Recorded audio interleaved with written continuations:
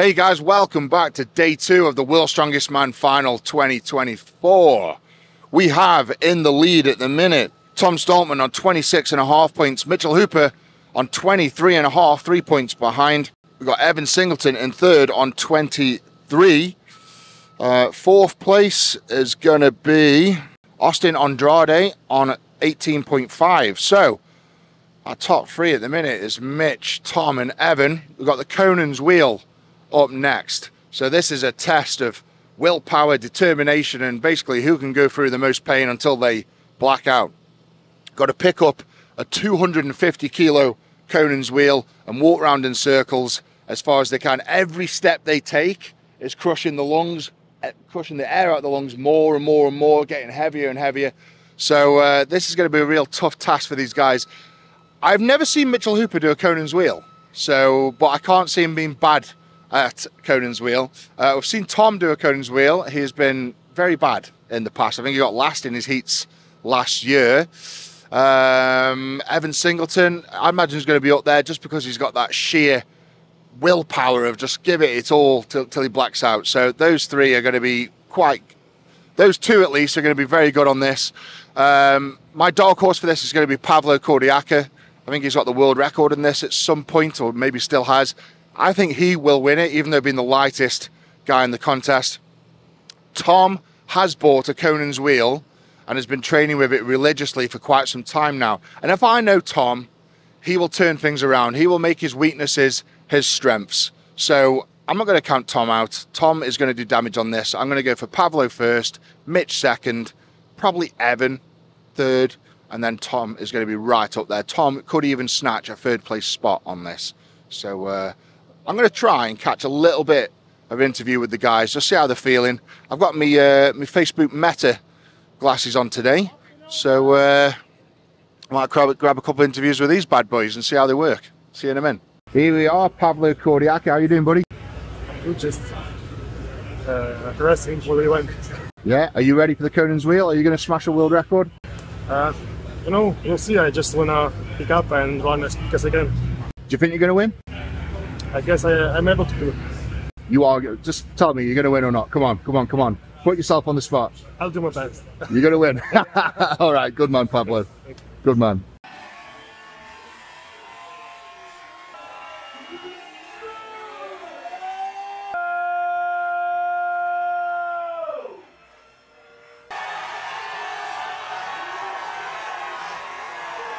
Right, Conan's wheel is done. So, as expected, Pavlo Kordiyaka won that event with 922 degrees, a full 100 degrees more than any other athlete.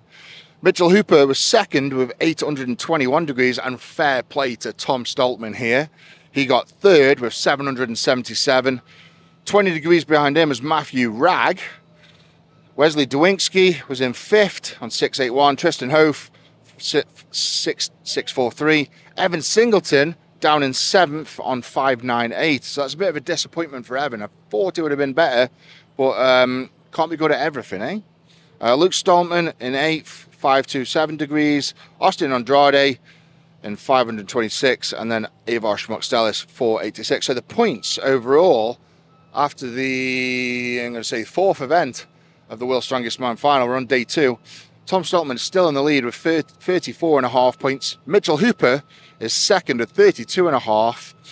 And then four and a half points behind is Evan Singleton, still on 27. And five points behind him is Wesley Derwinski on 22. So, Stoltman still in the lead by two points. Evan is four and a half points behind Mitchell as well. So, I mean, you got to think of the events coming up the deadlift. I mean, in my opinion, no one is beating Mitchell on deadlift. So, Mitch Hooper should, should win the deadlift. Is anyone going to beat Tom? Matthew Ragg and Evan Singleton could. I think those are the only two that could put some points in between Tom and Mitch Hooper at the minute. So let's say Mitch wins this next event. Two people get in between Tom and Mitch. That would mean Tom's going to lose.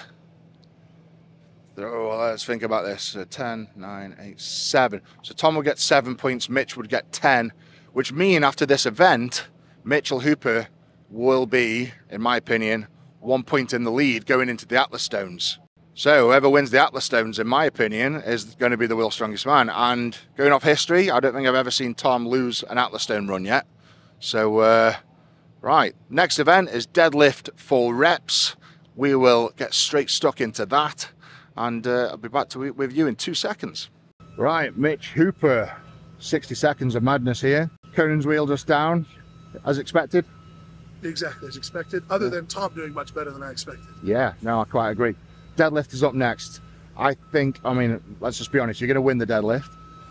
I think. So it's just a matter of who's going to get in between you and Tom going into the final. How do you see it playing out?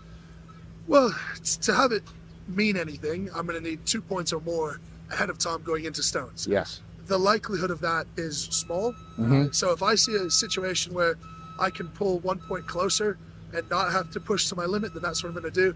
My goal is to be one point behind tied or one point ahead. And I think that's a reasonable expectation. So gauging what you just said, you're going to be pretty much tied or one point behind Tom going into the Stones. So your mindset has got to be win the Atlas Stones to win the World's Strongest Man. That's the goal. That's the goal. And you were only two seconds behind him last year. I'm closer than people would think. He I- is better, but I'm closer than people I, think. I, I believe so, yes. So, right, I'm going to say any more. Give you a fist bump because your hand's a mess. Thank you. Best of luck, man. Cheers, Thanks, Thank buddy. Thank you. Thanks, buddy.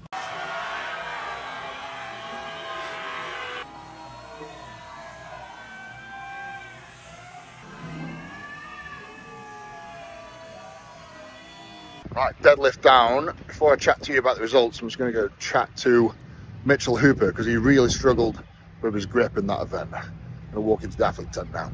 Right, and with Mitchell Hooper in the tent now. Just show me your hands, buddy, because that, oh my god.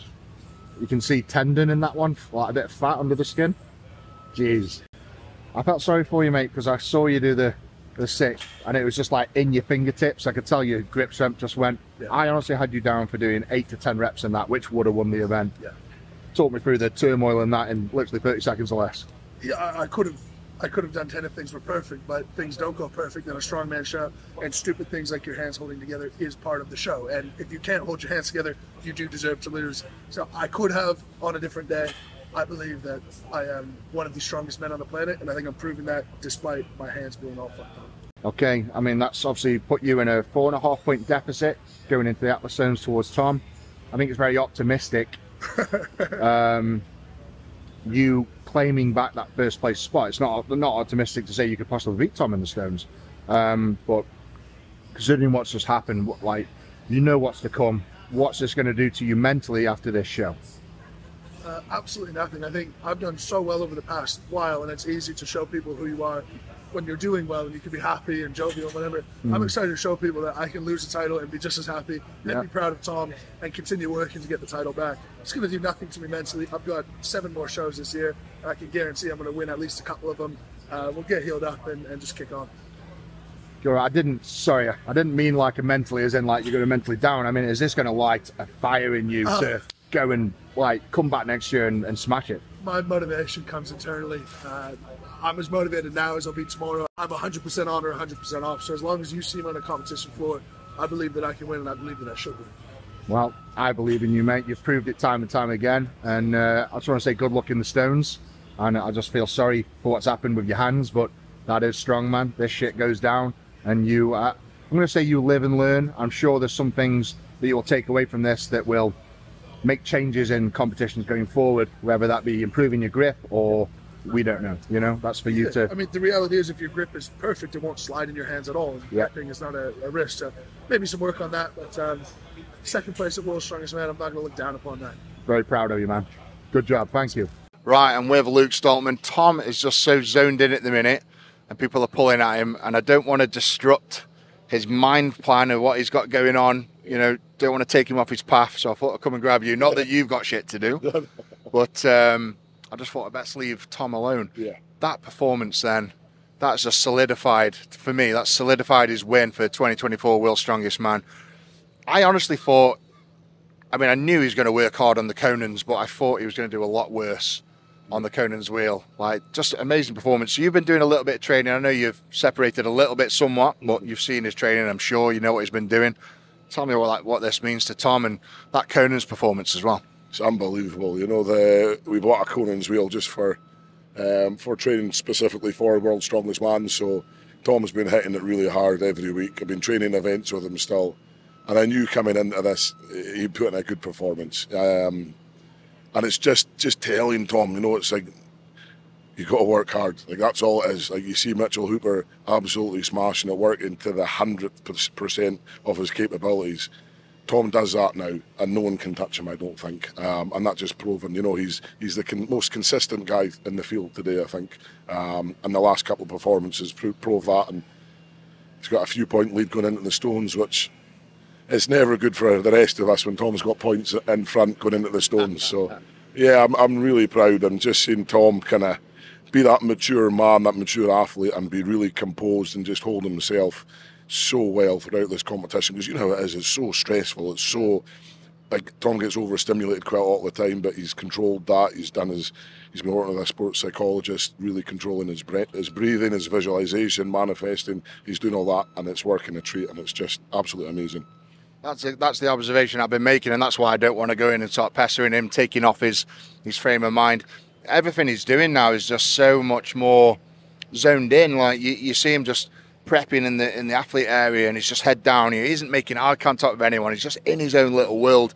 And I know Tom has the has the autism that obviously makes things a lot harder for him and expressing himself. He looks a bit miserable at times, but he is just that anchored in. He's here to win the world's strongest man, and that's all he cares about. I'm sure we'll be back down to normality straight after. But um, yeah, three times world's strongest man, ba- your little baby brother, your tiny little baby brother. How's that feel, man? Does that make you proud as hell or what? I mean, I don't want to count our chickens before they're hatched, but I mean, if some, if if he gets that third title, I think that's exceptional. You know, there's not many guys out there, and we were just chatting before. You know, if Tom wants to go and win it six times, I truly believe now that he's got it back, or he will have it back he's not going to let it go now, and he's going to just be that 100% focus now that we've seen out here, that we've seen at Britain's Strongest Man, every competition he does now. Um, I, have said it before, and I really think that Tom is the most exceptional athlete of, of, of kind of. I think one of our generations. That's no disrespect to yourself or any other guys, but I think just the way that Tom is with his autism, his his way of focusing so well.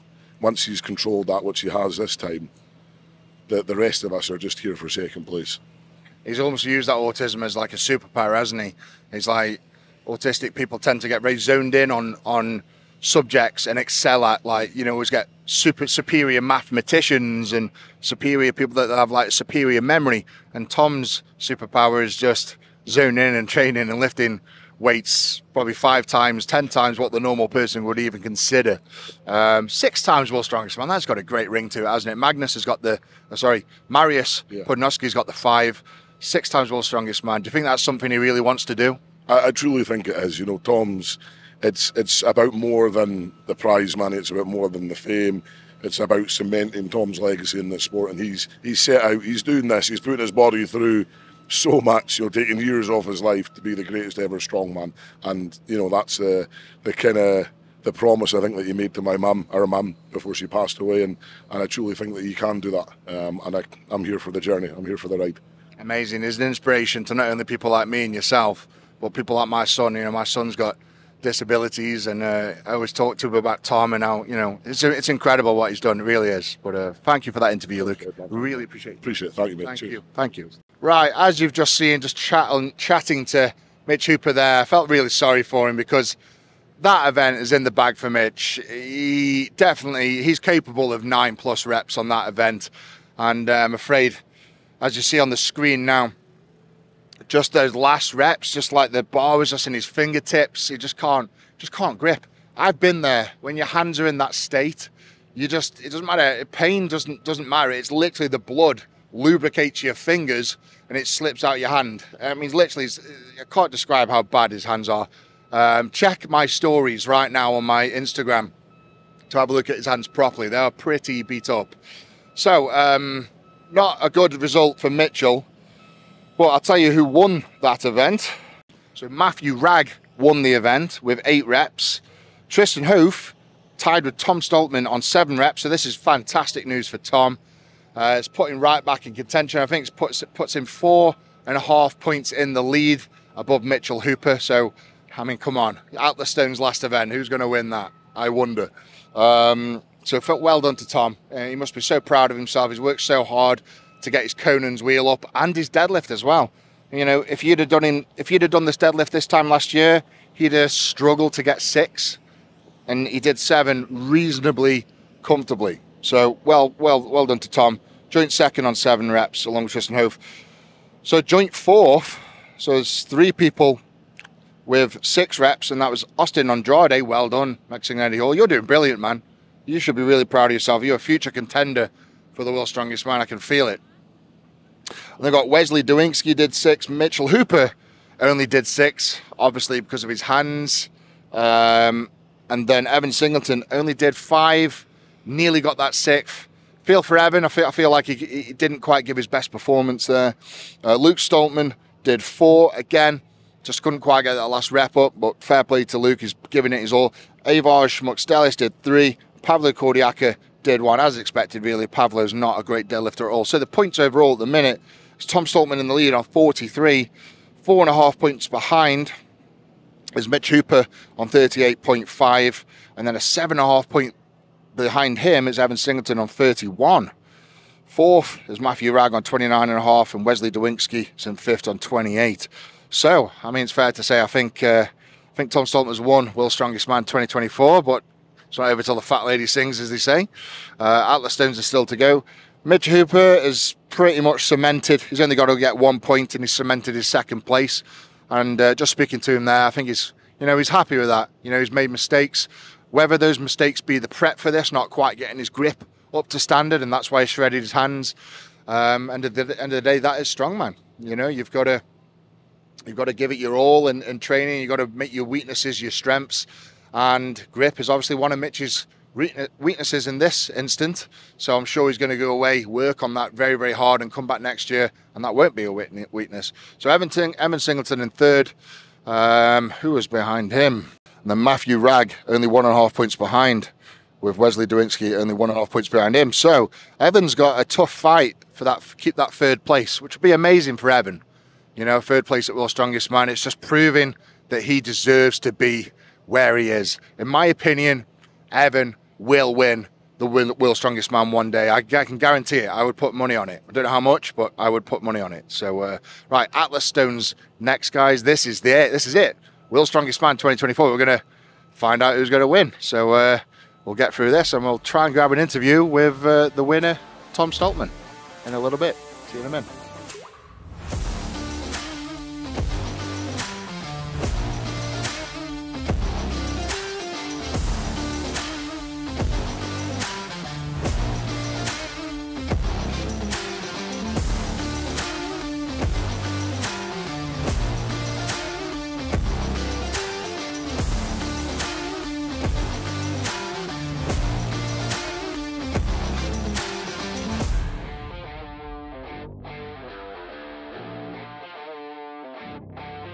Right, I'm with the champ, the winner, the dominator, the new dominator, Mr. Tom Stoltman. Mate, I just want to say well done. Three times now World's Strongest Man.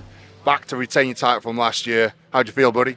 Yeah, I mean, it's special, you know. Um, 29 years old and won three World Strongest Man titles is pretty pretty crazy. But uh, yeah, I'm happy it's not sunk in yet. I was dominant, I was hardworking, I didn't uh, make any mistakes, and I think that was a kind of difference this weekend. So.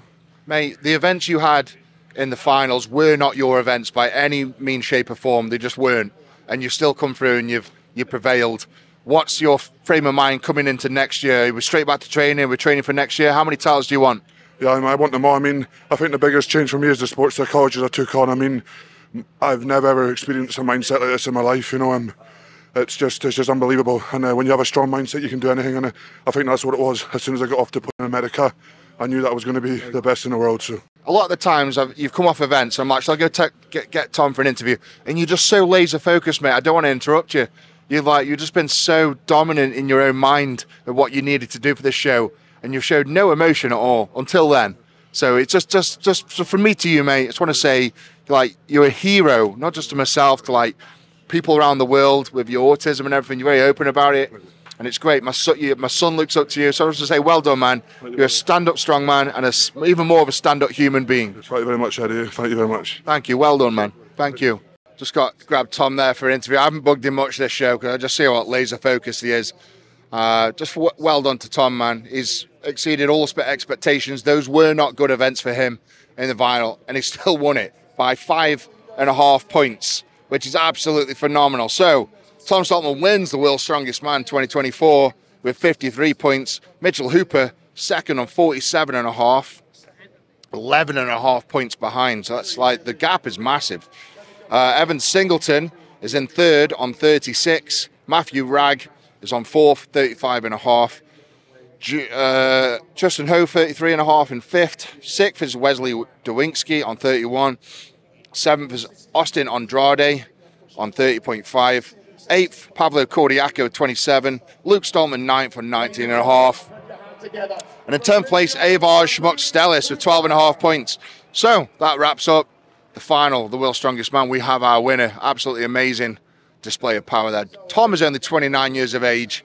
He has got a, such a bright future ahead. In my opinion, if he wants to go on and win this six times and get the record over Mariusz Pudzianowski, he can go and achieve that. There's no doubt in my mind. So, uh, well, well done to Tom, and uh, hope everyone's enjoyed this little behind the scenes, just getting these little bits of knowledge, and obviously seeing Mitchell with his torn hands and everything, just stuff you wouldn't see from all the all the uh, the social media otherwise. So uh, thanks for watching, guys. Don't forget to like the video, subscribe to the channel, and I'll see you soon. Big love the beast. Take care.